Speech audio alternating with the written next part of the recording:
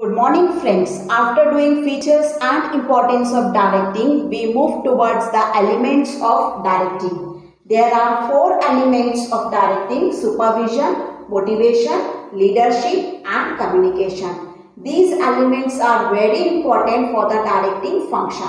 We start with supervision. It refers to instructing, guiding and observing the subordinates at work to ensure that they are working as per plans and to help them in solving their work problems.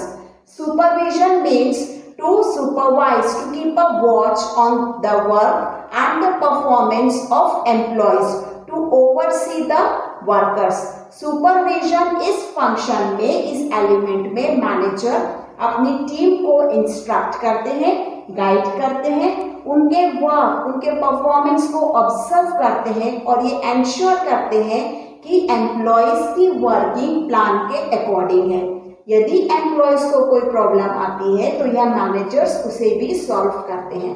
This is supervision now supervision can be understood in two ways first as an element of directing supervision directing का एक element है।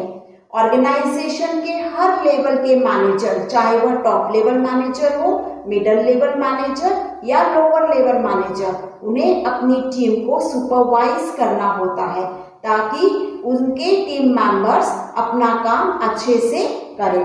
The second is as a function perform by supervisor organisation में supervisor की एक post होती है। यह supervisor management और वर्कर्स के बीच में लिंक होता है। यह सुपरवाइजर मैनेजमेंट के प्लान्स, पॉलिसीज़ अपने वर्कर्स को बताता है और वर्कर्स की रिपोर्ट उनके ग्रीवेंसेस, सजेशंस मैनेजमेंट तक कन्वे करता है। So this is the function perform by supervisor now we see functions of a supervisor the first function is interpersonal contact with workers एक सुपरवाइजर का अपने वर्कर के साथ डेली बेसिस पर contact होता है। यह सुपरवाइजर अपनी टीम के लिए फ्रेंड गाइड फिलोसोफर का काम करता है और उनके साथ अच्छे रिलेशंस मेंटेन करता है। Second is link between workers and management supervisor अपनी टीम वर्कर्स और मैनेजमेंट के बीच में इंटरमीडिएट होता है लिंक होता है।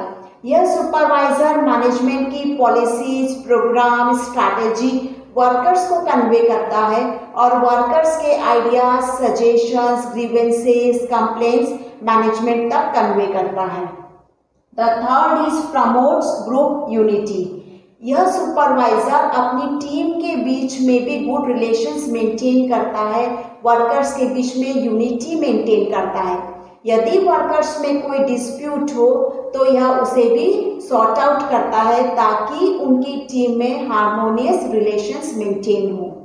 The fourth is helps in improving performance यह मैनेजर अपनी टीम के परफॉर्मेंस को इम्प्रूव करने के लिए रेगुलरली वर्क करता है, उन्हें मोटिवेट करता है गाइड करता है। The fifth is provides training to the employees एक नॉलेजेबल और स्किलफुल सुपरवाइजर अपनी टीम को on the job training provide करता है, उनके लिए ट्रेनिंग सेशन ऑर्गेनाइज करता है।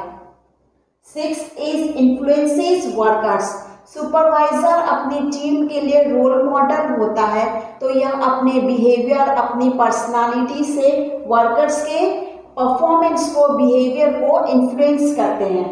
The seventh is provides feedback यह सुपरवाइजर अपनी टीम को उनके वर्क परफॉर्मेंस के लिए फीडबैक प्रोवाइड करते हैं। और इस टीम को स्किल कैसे इम्प्रूव करनी चाहिए, यह भी गाइड करते हैं।